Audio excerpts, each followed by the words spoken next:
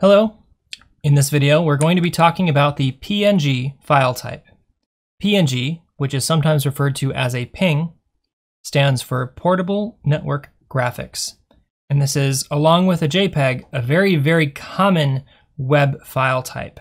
So anything on the web that needs to have really crystal clear text, such as a logo or even sometimes icons, all of those things that uh, also kind of need some transparency are going to be saved out as a PNG. And that's the main feature of a PNG really is that it is transparent. I typically save most of my projects that I work on in Adobe Illustrator will end up exported as a PNG for the web.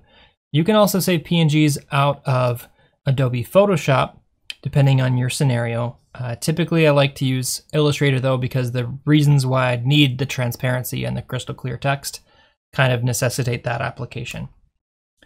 There are plenty of other applications that use PNGs. One thing to note though is that if you save out as a PNG, it is a raster file type, so you won't be able to put it back into Illustrator to do any editing. Any editing you do to a PNG would need to be done in Photoshop.